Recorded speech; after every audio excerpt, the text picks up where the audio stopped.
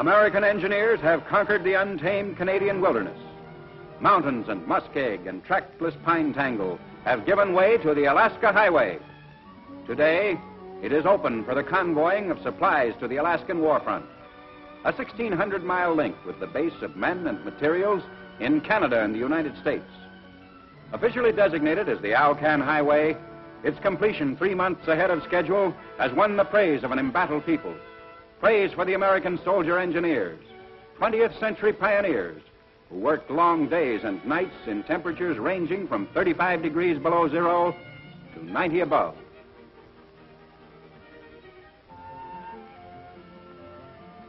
Alaska stands as a bulwark against Japanese attack on North America. It is also strategic for our own offensives.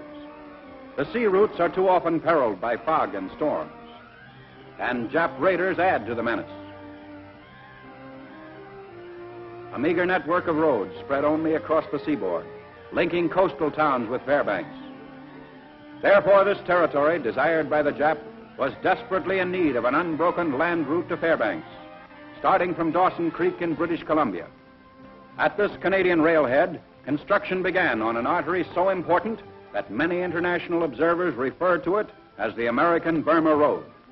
The Army supervised the entire job, and the Army will now patrol the winding, twisting ribbon of highway, will maintain it, and handle all the war shipments to Alaska.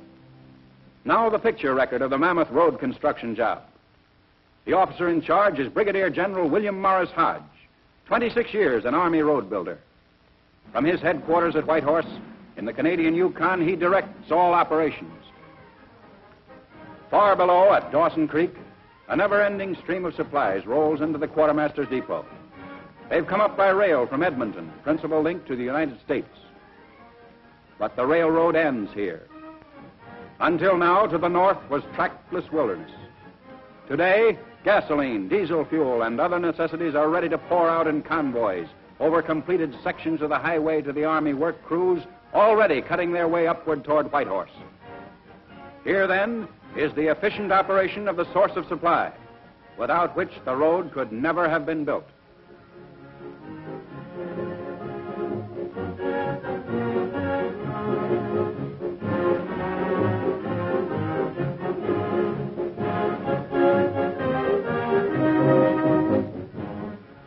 Mobile maintenance stations are also constantly keeping the equipment of every sort in running condition. Each day, thousands of construction troops move briskly from base camps to their specific jobs. Some to carve the trail through the densely wooded area. For others, grading, ditching, and putting down a finished road surface.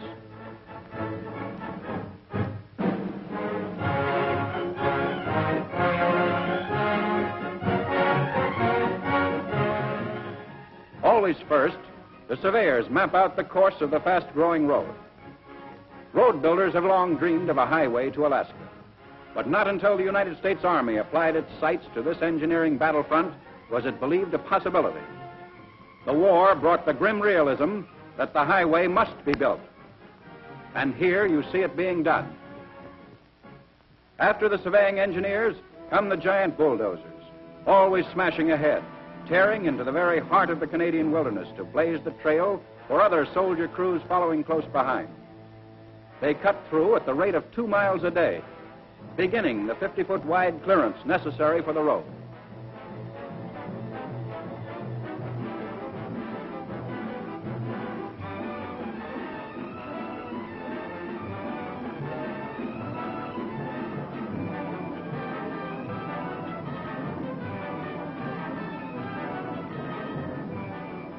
Twenty-two hours of work a day in regulated shifts leaves time only for chow and the other camp life tasks so familiar to a soldier. It's hard to find time to relax when you're always getting ready for the next day and the thrill of pushing the job further ahead of schedule. But they manage to keep spick and span. Meanwhile, work goes on. The natural glacial deposits of gravel and the fine glacial silt have made possible immediate access to excellent surfacing materials. They're graded and rolled into an all-weather highway. Also, aiding the speed-up operations is the fact that the road builders can draw on gravel pits established along the highway at five mile intervals. Crews two and a half miles back and two and a half miles ahead use this ever present supply. And so, men and modern machinery combine to mold and pound out the endless miles of roadway.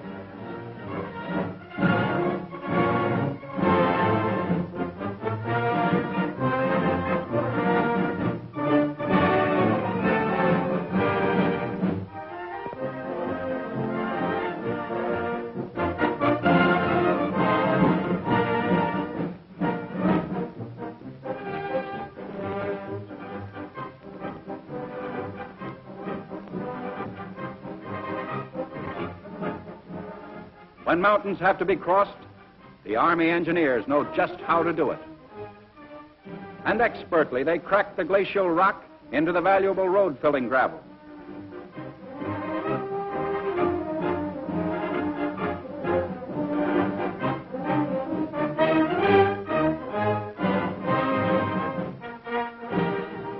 More and more truckloads are called for as the project takes on accelerated activity. The vehicles now loading are due to deposit their gravel at a point where the road crosses typical low growth muskeg country.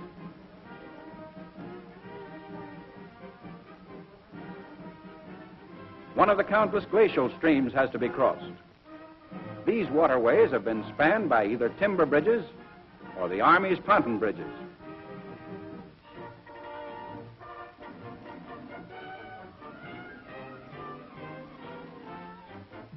The heavily laden trucks come across and speed through the raging overflow like amphibians.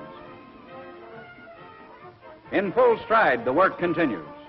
Northward past Fort Nelson and on toward Whitehorse. And here, as the unloading goes on, can be seen how the engineers master the muskeg. They float their highway on a bed of gravel and logs, a technique adapted from old time corduroy roads built by the pioneers.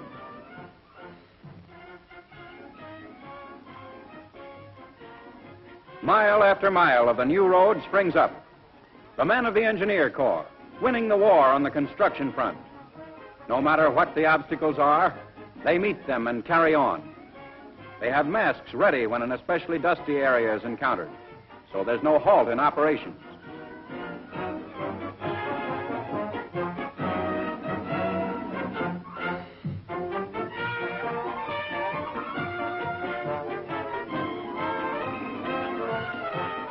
Here's the reward for all the effort. The highway is moving closer and closer to Fairbanks. In view now is the town of Whitehorse, linked by roadway with supplies and equipment from Dawson Creek far southward.